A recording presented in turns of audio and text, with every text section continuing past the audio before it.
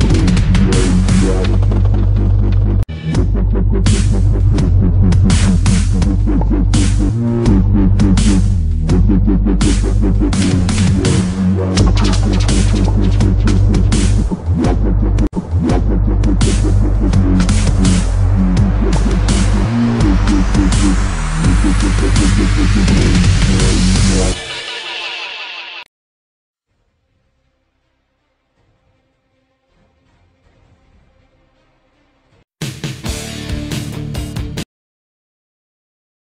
Evet kaptan.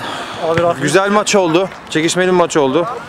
Ee, son dakikaya kadar koro koro oldu. Bir ara farkı açtınız. Geri geldiler peşinizden.